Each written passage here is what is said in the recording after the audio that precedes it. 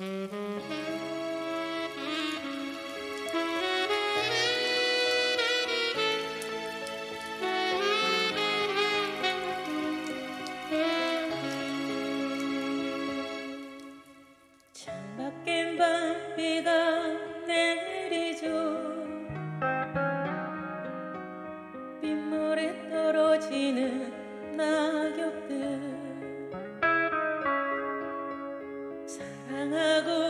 싶어 사랑받고 싶어서 흘려야 했던 수많은 시간들.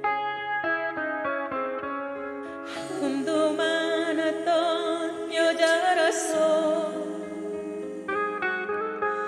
말 못할 사연도 많았지요.